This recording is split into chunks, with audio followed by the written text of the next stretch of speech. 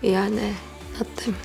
가지마 너무 보고 싶어서 왔어. 여자친구 손 좀 잡아줘 난 너로 인해 움직이고 너로 인해 살아가는데 네가 뭐 이런 거 보면 알아? 뭐라도 해야 될 거 아니야. 내가 너 이러라고 그 자체가 보낸 줄 알아? 결국엔 이렇게 될 거라고 했잖아 난너 아니어도 충분히 힘들어. 그만 돌아가.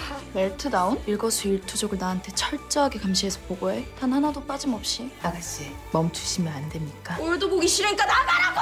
하다 씨 연구를 살릴 수 있는 방법을 찾은 것 같습니다. 내 남자친구 일어나면 나 제일 먼저 안아줘야 돼.